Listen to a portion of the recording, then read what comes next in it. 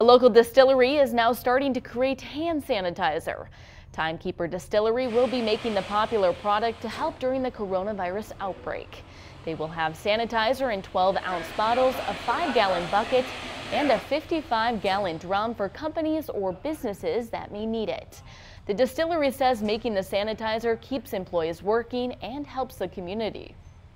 The healthcare professionals, the businesses, uh, the restaurants, um, you know, all of these people are limited on these resources that they need to operate safely. And so for us to be a part of that is uh, uh, a huge win for, you know, us as a company, but I think the community as a whole. For pickup information, visit the distillery's website or Facebook page.